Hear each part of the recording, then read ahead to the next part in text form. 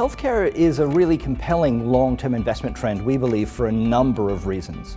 So if we think about aging populations, as we age more, we naturally spend more on healthcare.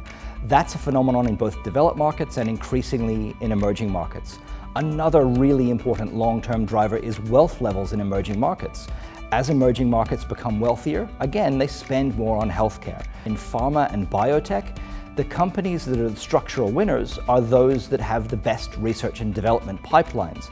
But R&D, again, is a very long-term force. The innovation that is going on, it is at unprecedented levels. So the pace of new drug discovery, the pace of new drug approvals is faster today than at any prior time within the sector. Like any part of financial markets, there are potential headwinds and potential risks and the healthcare sector certainly faces those.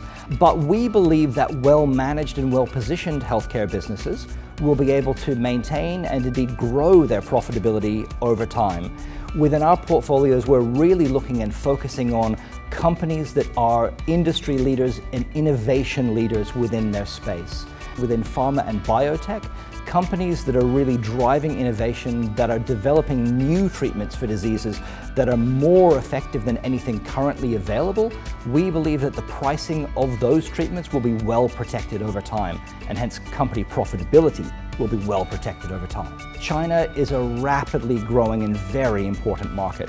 The pace of new R&D work, the pace of new drug discovery, the pace of new treatment pathways that are being followed in China is very, very interesting from an investment perspective. We see significant opportunities here in Asia.